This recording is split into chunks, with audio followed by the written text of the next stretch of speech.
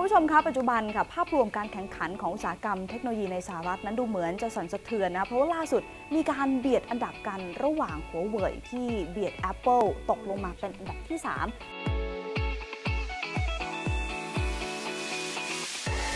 คือเขามองในแง่ความมั่นคงว่าอุปกรณ์หัวเว่ยเนี่ยจะมาสืบอะไรเกี่ยวกับทางราชการทางทหารหรือว่าความมั่นคงหรือไม่3 จากเหตุการณ์นี้จะส่งผลอย่างไรบ้างต่อการแข่งขันในกลุ่มเทคของสหรัฐ ส่วนอีกหนึ่งเรื่องที่ไม่ถามคงไม่ได้เลยก็คือ trade war จะส่งผลอย่างไรต่อภาพรวมของอุตสาหกรรมนี้ ตอบได้เลยว่ากระทบแน่นอนนะอืฮะมเพราะว่าอย่าลืมว่าฐานการผลิตของพวกสินค้า